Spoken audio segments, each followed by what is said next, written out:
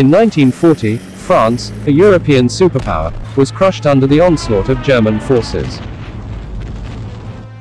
The French had to sign a humiliating peace in Compiègne, in a train car. The city and train car were the same, as where Germany signed their capitulation 22 years prior.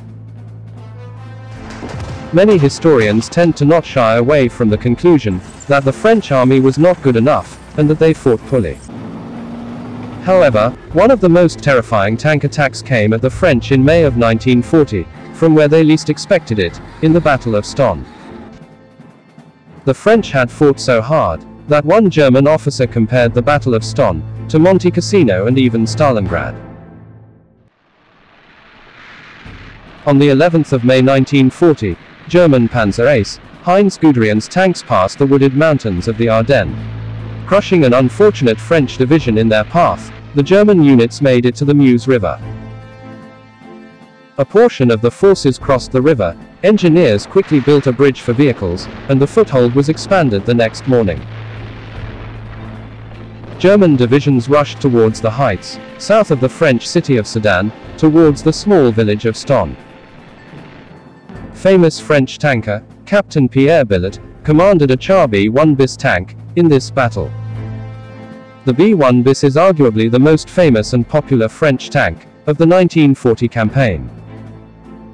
Heavy B-1 bis tanks had their tracks went all the way around the hull, an archaic solution for the start of the 1940s.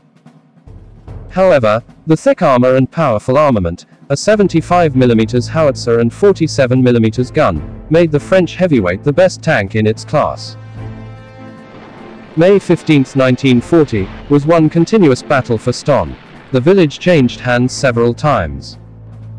The French infantry continued to show little enthusiasm when supporting its armored forces. After two attacks, only three Char B-1s remained in action.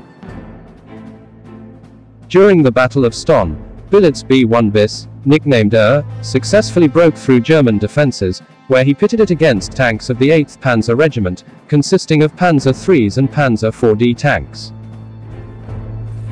On one of Stonne's streets, he met with a column of German tanks. They began to fire, while the B-1 bis was adjusting its fire. The French tank endured many shells without showing any sign of weakness. Billotte ordered the 75mm gun to destroy the head tank of the column, and the rear tank, effectively blocking the other tanks. Then, he methodically shot up one tank after another, and moved on. The German guns were not powerful enough to cause the tank any harm. A second column encountered by Er, met the same fate. By the end of the day, Er fought against the outnumbering panzers and successfully knocked out a total of 13 tanks and 2 AT guns, including 11 Panzer IIIs and 2 Panzer IVs. During the engagement, the tank took on an estimated 140 anti-tank rounds, all of which failed to penetrate or cause major damage towards the B-1 bis. On the next day, only two B-1 bis tanks, Tunis and Mistral, turned 50 German trucks, tractors and APCs, several light tanks and AT guns into scrap metal in only half an hour. The easy destruction of the German tanks was aided by the dual tank guns used on the Char B-1, including the main gun, the 75mm ABS SA-35 howitzer, installed on the tank's front hull, and the secondary main gun, a 47mm SA-35 on the turret. At the same time, the Char B-1 bis 60mm thick armor, was impervious against the German tank guns, which consisted of the 37mm L-45 on the Panzer III, and the 75mm L-24 howitzer on the Panzer IV-D tanks. Following the battle, the French were victorious for a moment, until the German army would later regain the ground. The battle for Stonne continued for another week, but the Char B-1s did not participate. For Captain Billotte, he would be captured and imprisoned by the German army, until he escaped and joined with the Free French government in exile. He would act as Chief of Staff for Charles de Gaulle from 1942 to 1943, then would serve with the French 2nd Armored Division after the Normandy landings, and would become commander of the 10th Division later that same year. He would go into politics after the war, until his retirement in 1968. He left the world at 86 years old on June 29, 1992.